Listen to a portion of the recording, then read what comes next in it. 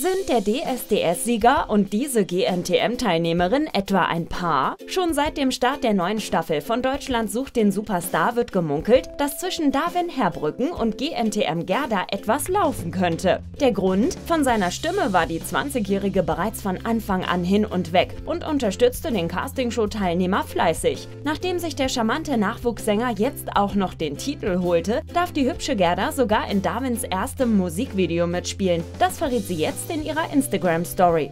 Und falls sich der eine oder andere fragt, was ich hier heute eigentlich mache, ich drehe heute mit Darwin sein erstes Musikvideo. Ich habe nämlich die große Ehre bekommen, ihm ein Musikvideo mitzuspielen. Und da freue ich mich schon so extrem drauf, weil wie ihr wisst, ich bin ja sein größter Fan.